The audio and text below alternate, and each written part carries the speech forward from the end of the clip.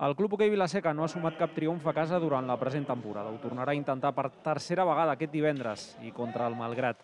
La Federació Catalana de Patinatge encara no ha resolt el conflicte obert en l'empat contra el Manlleu B per possible alineació indeguda dels grocs. És a dir, que de moment el Vilaseca continua amb dos punts de 12 possibles. L'últim resultat, fa 15 dies, va ser negatiu, derrota davant l'afició i vermella directa al tècnic, que, en principi, no podrà seure's a la banqueta al següent compromís ser solvents al municipi és imprescindible per disposar d'alguna opció d'accedir a la primera fase d'ascens a hoquei plata i evitar així la lligueta inicial de permanència nacional catalana. L'afició i el planter necessita contemplar victòries dels seus. Yo creo que sí, yo creo que es, eh, es cuestión de tiempo, cuestión de tiempo y, y rápido, eh, con el apoyo de los nuestros mm, podremos levantarlo. Los niños que vienen, los padres, eh, la afición que tenemos aquí arriba, se siente, se siente.